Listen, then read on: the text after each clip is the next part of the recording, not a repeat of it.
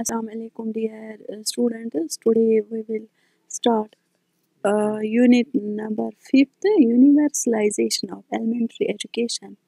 So students let's first we will understand the concept of universalization of elementary education.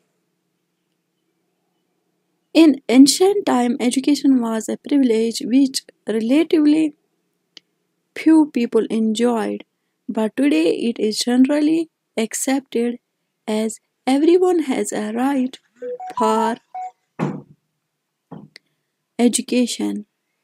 Education shall be free and compulsory at least in elementary and fundamental stages.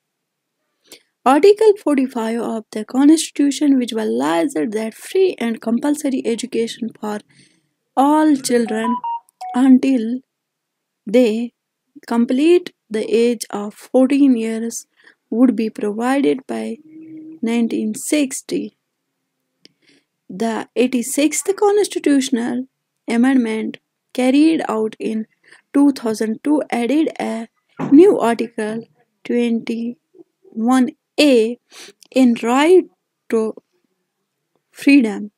The Article 21A relates to right to education which reads the government that government shall provide free and compulsory education to all children from the age of 6 to 14 in such a manner as uh, the state may be law determined. Now all the states are providing free and compulsory education to all children from age of 6 to 14 years now, stages of universalization of education. The universalization of elementary education has got the following stages. Number one, universalization of provision. It means that schools facilitates facilities be provided to all the children between the age group of 6 to 14 in the country and that the school should be within the walking distance from the home of a child. This is possible only when we will open more schools from for the more children. To a fairly large extent, we have succeeded in this direction. Now, universal uh, universality of enrollment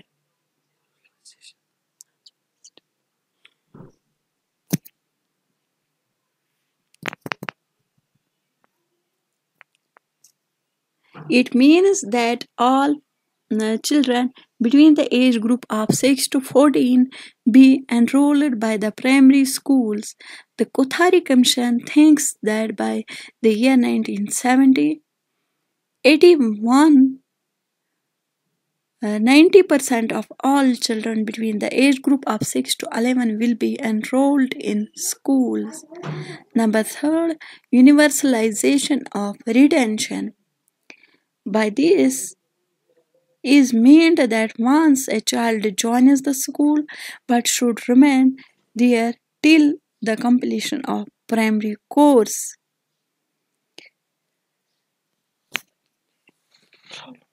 Now, problems of universalization is my number one are the non cooperation of parents. More of the most of the parents in India are illiterate. They do not bother about the education of their children as they do not cooperate with the teachers and refuse to send their children to school. Number second, large birth rate. All efforts to make primary education compulsory and free to bring everyone under the roof of the school up to elementary level are being frustrated by the tremendous increase in population. In spite of enrolling vast number of children in our schools, the explosion of population does not allow us to improve the condition. Number third, poverty of parents. Due to poor economic conditions, parents are forced to keep their children away from school. What to say of providing books and education to their children? The poor parents find it difficult to provide two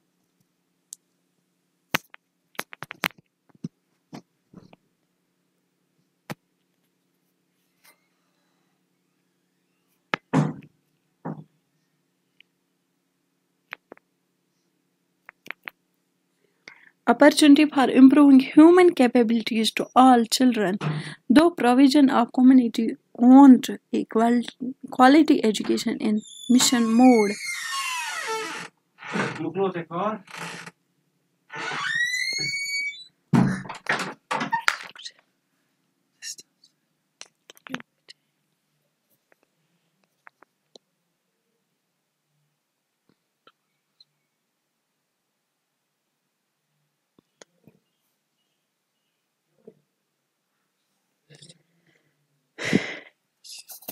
Resistance to the education of girls. Orthodox parents uh, offer traditional resistance to the education of girls. They consider it wrong to allow the girls to go out their homes, hence, they do not want to send their daughters to school. Dearth of teachers and adequate equipments. Universal, free, and compulsory education would need a large number of teachers and adequate equipments. Shortage of teachers generally results in discipline and inefficient teaching. Now, uh, remedies uh, for universalization of elementary education. इसमें number first हम कहेंगे education of the parents Illiteracy of masses is a great hurdle in the expansion of elementary education. Unless the parents are educated, they will not cooperate with the authorities. Number second, education as backward group. Education of backward groups. Expansion of education has to be planned with reference to the unprivileged and most backward sections of the society.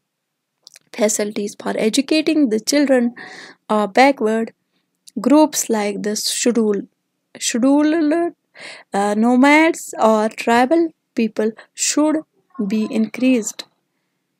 इसके बाद आता है financial incentive to parents. Financial assistance should be given to the needy parents.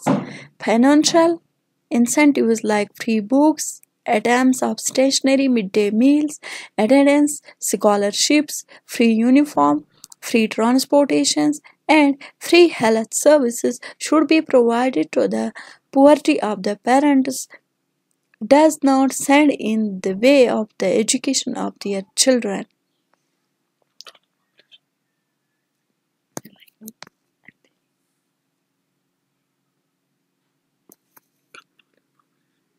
Now, controlling population. If the population goes on increasing at a fast rate, the possibility of bringing all under the roof of the school will diminish. The growth of population needs to check through the adaptation of population, various family planning, companion. इसके बाद आता है overcoming resistance of parents to education of girls.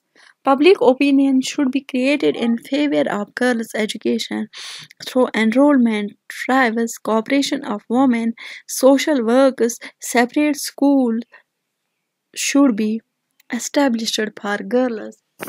Parents should be persuaded to send their daughters to educational schools where separate schools cannot be established for small number of girls. So in uh, next class we will discuss initiatives of elementary education.